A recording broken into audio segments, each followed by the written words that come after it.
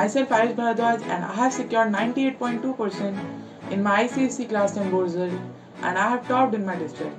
ये सब नहीं हो पाता अगर वह सर ना होते। वह सर की वजह से मैंने सीखा कि असली ढंग पढ़ने का क्या है, पढ़ाई क्या है और इसमें हम कितना एक्सप्लोर कर सकते हैं और ये कितना इंटरेस्टिंग है। जो मैं एडवाइस देना चाहूँगा या मेरी तरफ़ से जो रिकमेंडेशन रहेंगी अच्छा स्कोर करने के लिए, क्योंकि आईसीसी का सिलेबस बहुत वास्ट होता है। एक महीना एकदम जो एट से नाइन्थ और टेंथ का ट्रांजिशन रहता है, वो बहुत ज़्यादा रहता है। तो इसके लिए सबसे अच्छा आपको बुक वॉर्म बन जाइए एकदम। अपने टेक्स्ट को, जो भी बुक है टेक्स्ट बुक उसको थॉरली पढ़िए। हर लाइन को इमेजिन करिए, हर वर्ड को इमेजिन करिए नंबर्स तक को इमेजिन करिए स्टिक्स की तरह काउंट करिए। और धीरे धीरे धीरे धीरे आप एक ऐसी स्टेज पर होंगे जब आप हर चीज़ समझ पाएँगे। अपने आसपास सब कुछ देखिए कि क्या हो रहा है यहाँ क्या ऐसा है जो मैं रिवाइज कर सकता हूँ? और जो बुक्स मैंने अपने क्लास टेंथ के लिए फॉलो की थी, वो थी फिजिक्स की सेलिना केमिस्ट्री सेलिना और बायोलॉजी के लिए सेलिना और एवरग्रीन दो बुक्स फॉलो ही करनी पड़ेंगी। हिस्ट्री और जोग्राफी के लिए total geography and total history civics by Morning Star बिल्कुल इनफ रहती है। इससे एक्स्ट्रा कहीं नहीं आता, कोई डेट नहीं, आपको नोट्स तक बनाने की ज़रूरत नहीं है।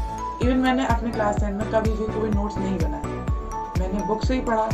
सब कुछ बुक से ही आता है।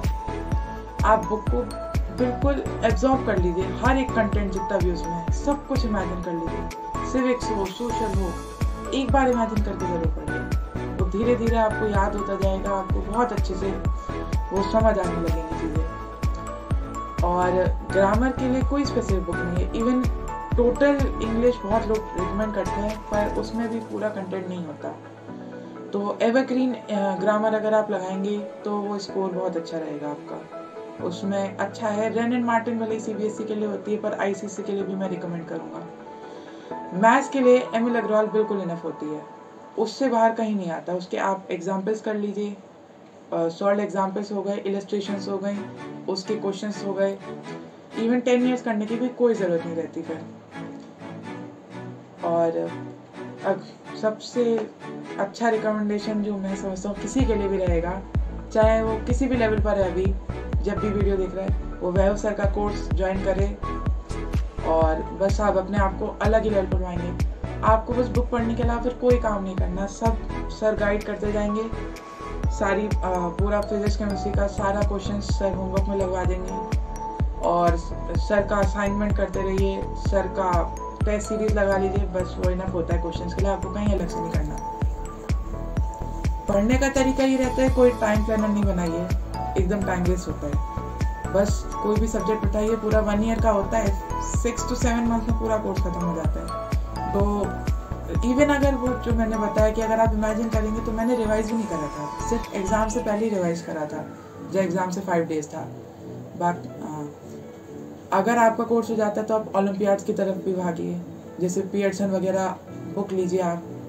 आई टी की नीट के लिए कर रहे हैं तो आप भी तो भी पियर्सन को रिकमेंड कर सकते हैं, भले ही थोड़ी और पब्लिकेशन भी आती हैं।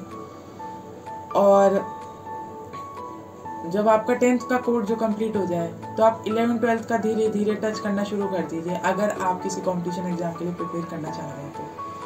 बाकी टेंथ तक के लिए वो इलेवन ट्वेल्थ अगर आप इलेवन ट्वेल्थ करना चाह रहे हैं तो से अच्छा कोई नहीं है। बस आपको अलग से कहना है, बस जो भी बुक है आपकी, उसे पढ़ना है।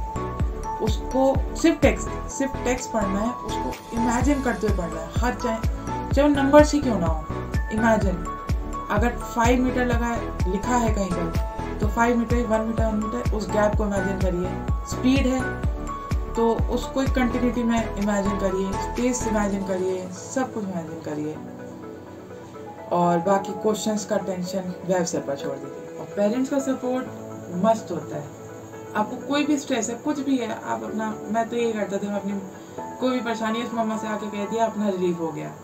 तो पेरेंट्स से आप एकदम बॉन्डिंग बना के रखिए, टूटिए मत, और बाकी अपना प्रिपेयर करते रहिए, और आगे के लिए I wish you all all the best thank you web sir and physics family